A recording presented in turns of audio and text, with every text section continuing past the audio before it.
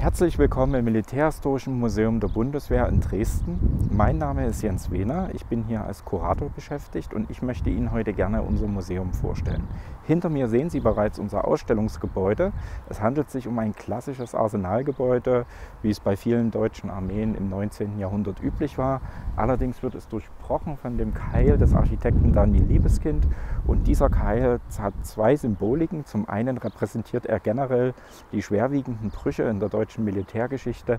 Zum anderen zeigt er auf jenen Punkt in Dresden, bei dem am 13. Februar 1945 die erste Bombe zur Zerstörung Dresdens abgeworfen wurde. Dieser Keil hat also einen direkten Bezug zur Dresdner Stadtgeschichte. Und natürlich steht auch das Arsenalgebäude nicht im luftleeren Raum, sondern es befindet sich in der Albertstadt. Die Albertstadt war eine große Kasernenstadt, die im 19. Jahrhundert errichtet wurde, vorgesehen für ungefähr 20.000 Soldaten. Und wenn Sie sich hier umblicken, sehen Sie viele historische Gebäude, die von dieser Albertstadt stammen. Einige von denen werden von uns noch genutzt als Depot, zum Beispiel die Remise, die Sie hier sehen. Andere werden von sächsischen Behörden als Verwaltungsgebäude genutzt. Und wenn Sie in diese Richtung blicken, sehen Sie dann auch die alte Garnisonskirche für den Glaubensdienst der Soldaten. Neben unserem Gebäude sehen Sie dann einige größere Stücke Militärtechnik. Das sind vor allen Dingen Fahrzeuge, in dem Fall jetzt aus dem Kalten Krieg, Fahrzeuge beider deutscher Armeen, Standardfahrzeuge, die im Kalten Krieg genutzt wurden. Was es bei uns im Museum sonst noch zu sehen gibt, das sehen Sie jetzt im Folgenden, wenn Sie mir folgen in der nächsten Episode. Wir werden uns in die Spitze des Liebeskindkais begeben und dort werde ich Ihnen dann weiteres zu unserer Ausstellung erklären. Bitte folgen Sie mir. Ja, wir befinden uns jetzt hier im sogenannten Dresdenblick. Der heißt natürlich in erster Linie so, weil man von dort, von dieser Aussichtsplattform, einen sehr schönen Blick über ganz Dresden hat. Aber natürlich wird auch die Zerstörung Dresdens 1945 thematisiert, weil ja der Liebeskindkeil dazu einen direkten Bezug hat. Allerdings ist uns nicht nur die Zerstörung Dresdens als Thema wichtig, sondern die Kontextualisierung im gesamten Bombenkrieg des Zweiten Weltkriegs. Deswegen sehen Sie hinter mir Gehwegplatten aus der polnischen Kleinstadt Wilun. Das war die erste Stadt im Zweiten Weltkrieg, die bombardiert wurde, gleich in den ersten Minuten am 1. September 1939. Und wenn wir uns jetzt mal weiter bewegen, zum Beispiel zu dieser Plattform, sehen wir dann das Waisenhausmädchen. Das ist eine Skulptur vom Waisenhaus in Rotterdam. Rotterdam wurde wie Wivelun 1940 von deutschen Bomben zerstört. Sie sehen also, das ist unsere Kontextualisierung. Und wenn wir uns jetzt weiter bewegen, sehen wir dann wiederum hinter mir Gehwegplatten aus der Stadt Dresden. Äh, diese Gehwegplatten haben noch die Einschlaglöcher von Brandbomben, wurden erst 2007 aus der Stadt geborgen. Und hinter mir sehen Sie dann den Dresdenblick, das ist also die Plattform, von der Sie nochmal einen Eindruck über die Stadtsilhouette von Dresden gewinnen können. Und diese diese, dieses Thema, der Dresdenblick, ist auch schon das erste Thema im Liebeskindkeil. Zwölf Themen werden Ihnen in unserem Themenparcours präsentiert. Da werden allgemeine Fragen der Militärgeschichte, kulturgeschichtliche Fragestellungen gestellt. Und welche das sind, das zeige ich Ihnen im Anschluss. Dazu verlassen wir den Dresdenblick und begeben uns in den ersten Bereich in diese Richtung. Wir befinden uns noch im Liebeskind Keil im Themenparcours und in dieser Etage hier möchten wir das Verhältnis von Militär und Gesellschaft im Verlauf der Jahrhunderte darstellen. Also wie immer im Liebeskind Keil bei uns wird dieses Thema sehr übergreifend, sehr kulturgeschichtlich behandelt. Und ein ganz wichtiger Unterbereich in dieser Etage ist natürlich das Thema Politik und Gewalt. Wie hat sich Politik politische Herrschaft und die militärische Gewalt im Verlauf der Jahrhunderte zueinander verhalten. Wir gehen dabei davon aus, dass es Zeiten gab, in denen die militärische Gewalt sehr stark eingehegt war von der Politik und dass es Zeiten gab, in denen die militärische Gewalt regelrecht entfesselt war, wie zum Beispiel im Dreißigjährigen Krieg oder im Zeitalter der Weltkriege. Und wenn Sie dieses Gemälde hier sehen, dann sehen Sie die schwedische Königin Christina von Schweden und wir interpretieren dieses Gemälde, was natürlich auch immer eine symbolische Herrschaftsvermittlung war, äh, wie also diese Königin sich in ihrem Verhältnis zur militärischen Gewalt verhalten hat. Daneben sehen Sie noch eine Vitrine, die thematisiert das Verhältnis von Militär und Musik, denn wir bleiben natürlich nicht bei der Politik stehen, sondern gucken, wie hat sich eigentlich die Kultur verändert oder im Wechselspiel mit dem Militär entwickelt, also welchen Einfluss hatte Militär auf die Kultur und umgedreht. Und eine ganz wichtige und interessante Vitrine in diesem Zusammenhang sehen Sie hier. Das ist die Vitrine, die das Verhältnis von Militär und Mode thematisiert. Dabei ist es jetzt so, dass vielleicht der ein oder andere sich fragt, was hat denn Mode mit Militär zu tun? Aber wenn man dann diese Exponate sich hier anschaut, bekommt man doch schnell mit, dass Mode, Militär, also das, was wir auch im Alltag zum Teil kleiden, durchaus auch eine militärische Vergangenheit hat. Und ein ganz besonderes Stück in dieser Vitrine ist der sogenannte Großstadtkrieger von Vivienne Westwood. Das ist eine relativ bekannte Designerin, die kennt der ein oder andere. Und dieses Haute Couture-Stück stammt äh, von Vivienne Westwood aus den 2000er Jahren und heißt der Großstadtkrieger. Und uns hat natürlich besonders diese Helmform interessiert. Das ist die klassische deutsche Helmform aus der ersten Hälfte des 20. Jahrhunderts, die von Vivienne Westwood aufgegriffen wurde, stilisiert wurde. Und solche Stücke, denke ich, die auch einen gewissen Überraschungseffekt haben, können Sie hier in dieser Ausstellung doch häufig finden. Und jetzt wollen wir schauen, was es denn noch in dieser Ausstellung Überraschendes zu finden gibt.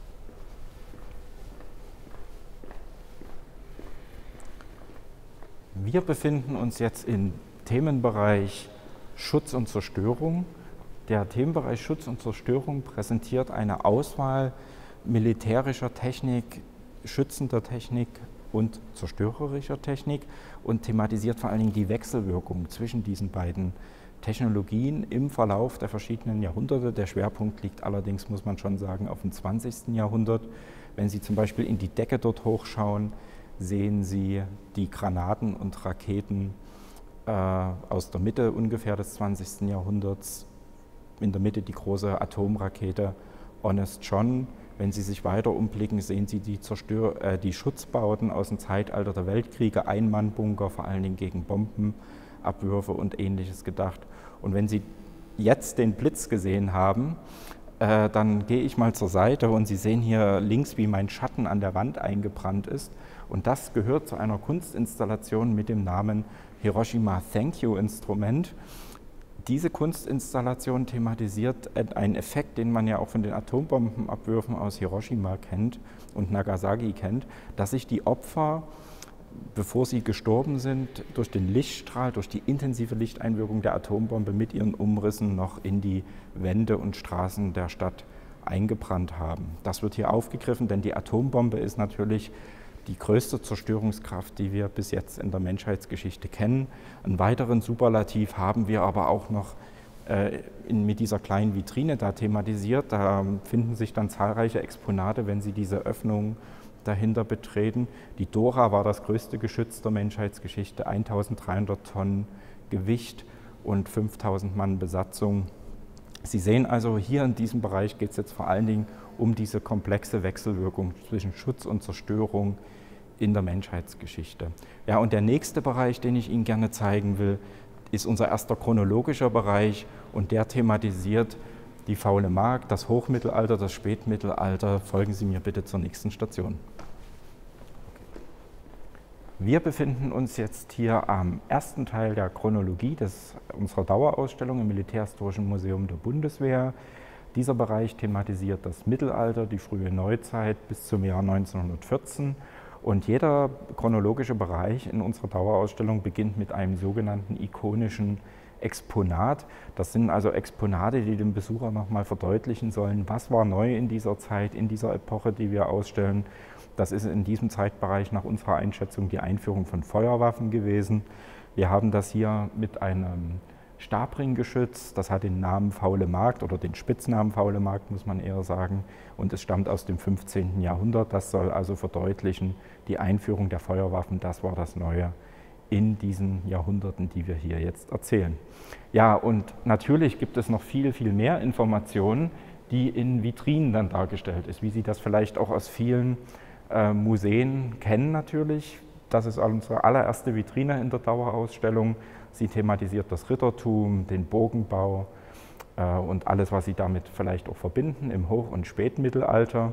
Sie müssen aber längst nicht jede Vitrine gesehen haben, um einen guten Überblick zu bekommen. Es reicht also, wer sich vielleicht auch für ein Thema nicht so stark interessiert, wenn er einmal außen rum geht, dann hat er einen guten Grobüberblick erhalten.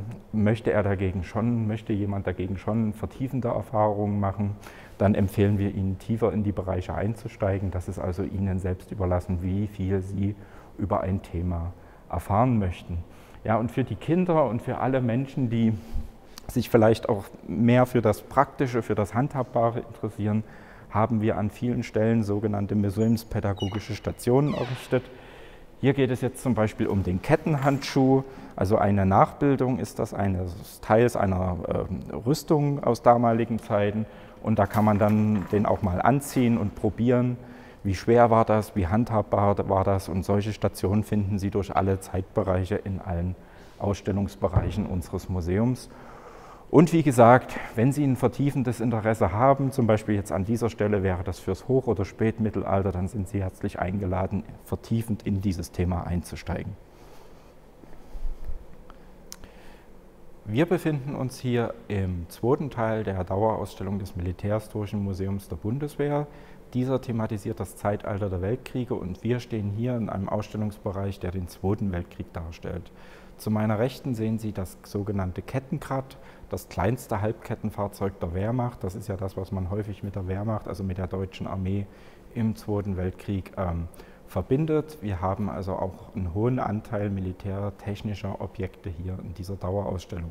Darüber hinaus erzählen wir natürlich aber auch, warum dieser Krieg geführt wurde. Und wir verbinden die eigentliche Kriegsführung, das heißt also die Operationsgeschichte, die Technikgeschichte, mit der Geschichte des deutschen Vernichtungskrieges in der Sowjetunion und auch der deutschen Kriegsverbrechen generell im Zweiten Weltkrieg. Zu meiner Rechten sehen Sie eine Vitrine, die die deutschen Kriegsverbrechen auch zeigt, des Jahres 1941, zum Beispiel die Ermordung von Millionen sowjetischer Kriegsgefangener oder die Beteiligung der Wehrmacht am Holocaust an den Massenerschießungen der SS in der Sowjetunion 1941. Zur Linken dagegen sehen Sie eine sehr militärisch äh, konnotierte Vitrine mit Panzerkanonen, mit einem künstlichen Tannenbäumchen, das für die eingekesselten Soldaten von Stalingrad gedacht war. Sie sehen also, diese Verbindung hier ist immer da. Und natürlich führten die Soldaten den Krieg für einen politischen Zweck. Und einer dieser politischen Zwecke war das, was die deutsche Geschichte bis heute kennzeichnet. Das war der Holocaust. Den haben wir hier thematisiert mit 60 Schuhen, sehen Sie in dieser Vitrine. Diese 60 Schuhe sind eine Leihnahme der Gedenkstätte Majdanek. In Majdanek befand sich eines der Konzentrationslager, in dem viele Juden, jüdische Menschen im Zweiten Weltkrieg ermordet wurden. Und diese Verknüpfung zwischen Vernichtung, Politik, Kriegsführung, Militärtechnik, das ist ein zentraler Ansatz dieser Dauerausstellung hier im Militärhistorischen Museum wenn es um den Bereich des Zweiten Weltkriegs geht. Also es wird nicht losgelöst voneinander äh, behandelt, sondern kontextualisiert, thematisiert. Und wir gehen jetzt in den dritten Chronologieteil.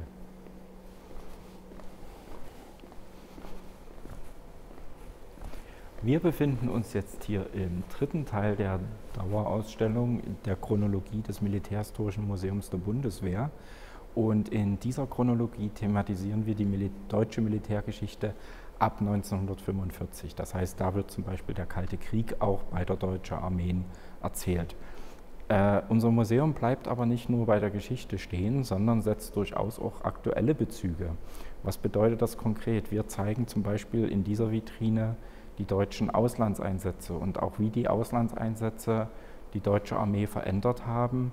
Sie sehen zum Beispiel da eine Plane, äh, die Bundeswehrsoldaten angefertigt haben im Gedenken an die drei Toten des Karfreitagsgefechts in Afghanistan. Der Afghanistan-Einsatz sicherlich der wichtigste und größte Einsatz der Bundeswehr nach 1990 oder auch in der gesamten Geschichte. Weiterhin zeigen wir natürlich auch, wie die deutsche Armee, die Bundeswehr sich nach dem Mauerfall 1989 verändert hat. Zum Beispiel wurde 2011 die Wehrpflicht abgeschafft. Die Armee ist auch diverser geworden. Jeder hat heutzutage Zugang zu dieser Armee, darf in ihr dienen, wenn er das möchte. Auch Frauen, das war ja äh, die ersten Jahrzehnte in der Bundeswehr nicht möglich. Und das ist dann zum Beispiel in dieser Vitrine dargestellt. Letztlich ziehen wir aber auch immer wieder Bezüge zu aktuellen politischen Entwicklungen, weil die natürlich relevant sind für die deutsche Sicherheitspolitik. Ein ganz wichtiger Bezug, der quasi auch schon den Endpunkt unserer Dauerausstellung darstellt, ist die Flüchtlingsthematik.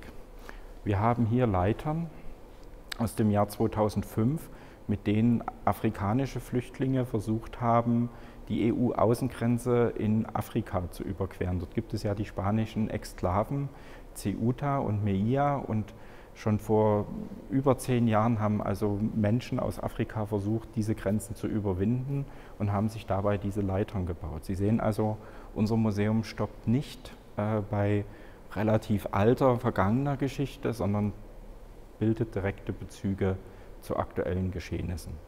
Und damit hoffe ich, haben Sie einen kleinen Einblick in unsere Dauerausstellung bekommen und haben auch ein bisschen Lust bekommen, sich das anzuschauen. Und wir würden uns sehr freuen, wenn wir Sie hier bei uns im Haus begrüßen könnten. Damit verabschiede ich mich von Ihnen.